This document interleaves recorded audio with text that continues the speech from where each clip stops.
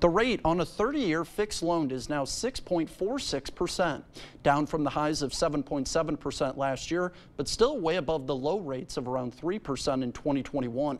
Mortgage costs started increasing in 2022 when the Federal Reserve began raising interest rates. FED Chairman Jerome Powell spoke on Friday, said the time has come to change policy. Economists expect the board to cut rates at a meeting next month.